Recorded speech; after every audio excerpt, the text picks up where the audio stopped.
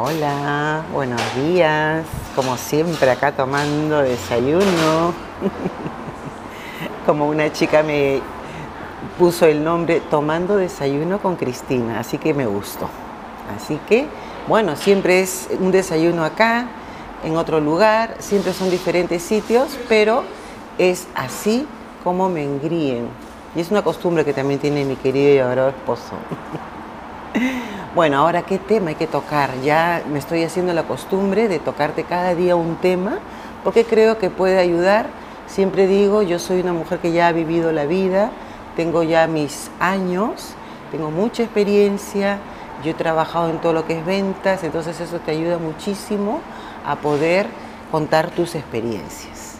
Así que bueno, ahora te puedo contar un tema de que, por ejemplo, cuando algo se encuentra aquí en Alemania. Puede ser un paraguas, puede ser una cartera, puede ser una casaca, en un restaurante, en el tren, en el bus. La gente simplemente no lo toca, lo deja ahí. Y si tú encuentras, se lo puedes dejar al chofer, si estás en un restaurante se lo puedes dejar al dueño del restaurante o al encargado del restaurante.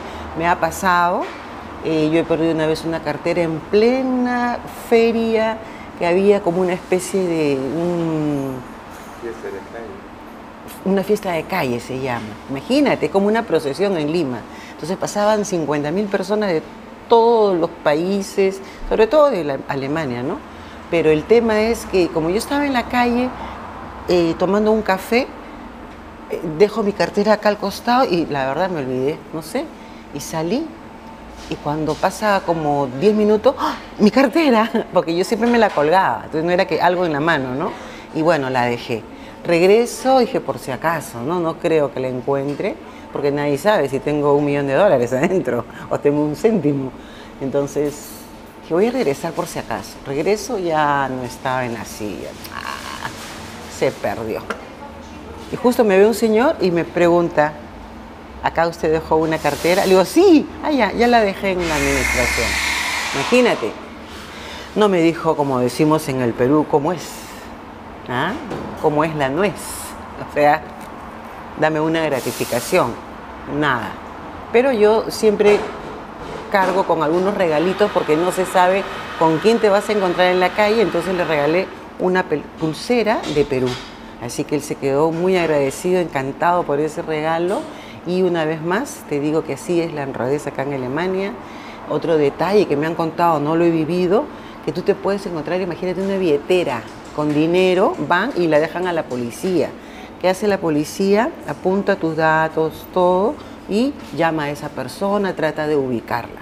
¿Qué pasa si no lo ubican? Porque a veces el teléfono es antiguo o esa persona se mudó o, o mil cosas. Dejan pasar un año. Y si en ese año la persona no va a recogerla, la policía te llama, que Schenken, te la regala. ¿Qué te parece? Es el país de las maravillas.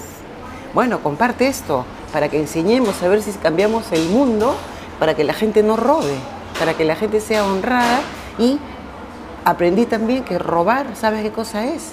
No tener autoestima. Porque tú puedes trabajar, porque vas a robar. ¿No? Si tienes la autoestima baja, ¿qué te queda? Solamente robar. Compártelo, suscríbete y pon manito para arriba.